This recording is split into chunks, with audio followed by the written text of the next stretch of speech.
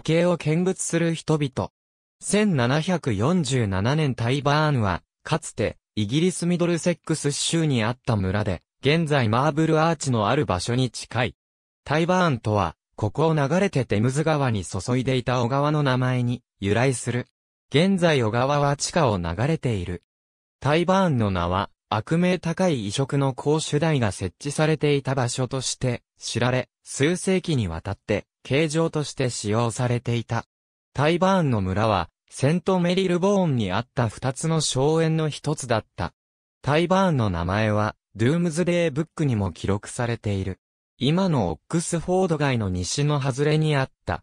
オックスフォード街とパークレーンの以前にあった道は村に、つながる道路で、タイバーンロードとタイバーンレインとそれぞれに呼ばれていた。タイバーンは古代から意味があり、ここにはオズールフの石で知られる目印が置かれていた。石は1822年にマーブルアーチがこの地域に移されると地下に埋められてしまった。しかし、すぐ後に掘り出されて、アーチの反対側に支えとして据えられた。石は1869年から見ることができなくなった。タイバーン・トゥリー・タイバーンで死刑が執行されたのは18世紀までである。以降、刑の執行はニューゲート、または南ロンドンのホースマンガー・レインゴール刑務所に移された。最初に小川の隣で死刑が執行されたのは1196年であった。ロンドンにおいて重税に対する暴動を指揮したウィリアム・フィッツ・オズバーンである。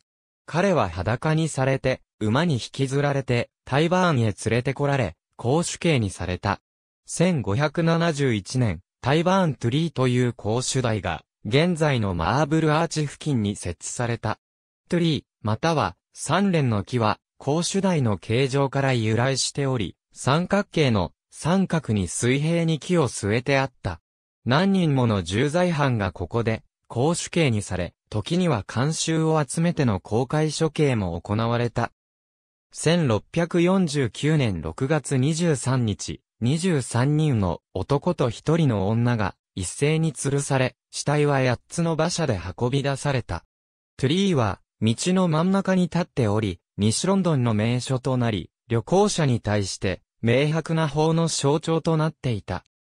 処刑後、遺体は近くに埋葬されるか、後に何度か医者によって解剖目的のために持ち去られた。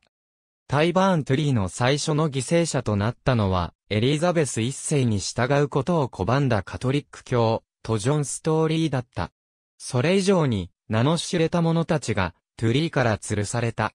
ジョン・ブラッド・ショー、すでに病没していたが、王政復古後に遺体を吊るされた、ヘンリー・アヤトン、オリバー・クロムウェルである。彼らは1661年1月、不法処刑の報復として、チャールズ2世の命令で墓から掘り起こされ、形状に吊るされた。処刑は一般庶民の見せ物として非常に人気があり、100人程度の監修が集まった。証拠たくましいタイバーンの村民は、見物人のために大きな観覧席を設置し、席料を取った。ある時、観覧席が突然崩壊し、約100人の死傷者が出た。これが恐怖心を起こして処刑を見るものがなくなるかといえばそうはならず、ロンドンにおける庶民的な休日の過ごし方として続行されたのである。タイバーンという言葉は、遠曲的に用いられることがある。例として、タイバーンへ馬で乗り入れるは、一人が吊るされに行った、という意味である。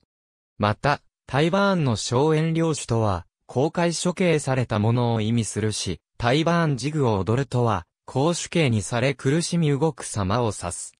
帰結州は、ニューゲート監獄から屋根のない牛車に乗せられ、ここへ移された。彼らは、感激に行くがごとく手持ちの中で一番いい服を着て、無頓着に死んでいった。彼らは形状へ向かう途中、居酒屋で降りて、最後の飲み物を飲むことが許されていた。慣習は潔い死に様を生やし立てたが、死刑囚の一部が死ぬのを怖がり、騒ぎ立てようものならヤジを飛ばしてあざけった。タイバーン形状で最後に死んだ死刑囚は、1783年11月3日、旅行者ばかりを狙って殺していた強盗犯、ジョン・オースティンであった。公主台のあった場所は、現在3つの真鍮の三角形が記念として埋め込まれている。このプラークは、タイバーン修道院を記念したものでもある。カトリックのこの修道院は、信仰のために犠牲となった人々の記念に建てられたものである。現在、タイバーンという地名はワットリング街の一部に残る。ありがとうございます。